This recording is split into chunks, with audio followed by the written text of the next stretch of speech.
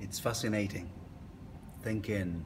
of Giulio Masetti or Enzo, Enzo Ferrari that in 1924 at the Targa Florio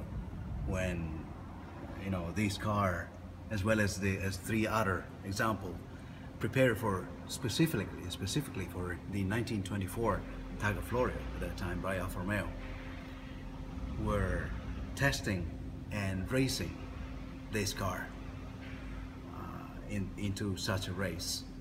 and, and that's exactly what they would do at that time to start this incredible fast machine.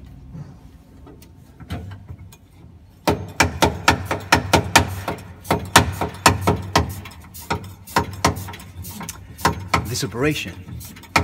with this pump, operating this pump, is pumping air into the gas tank. This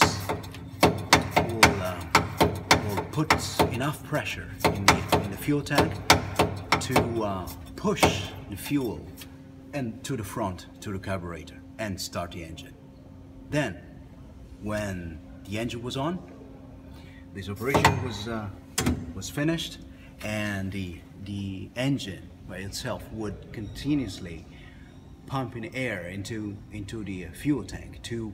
allow fuel uh, coming continuously to the to the front to the carburetor to the carburetors um, for you know the rest of the operating.